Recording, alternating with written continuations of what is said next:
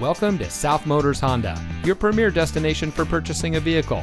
And here's a look at another one of our great vehicles in inventory and comes equipped with Apple CarPlay and Android Auto, split fold down rear seat, rear view camera, heated front seats, ventilated front seats, fully automatic headlights, leather wrapped steering wheel, steering wheel controls, keyless entry, tire pressure monitoring system, and has less than 35,000 miles on the odometer.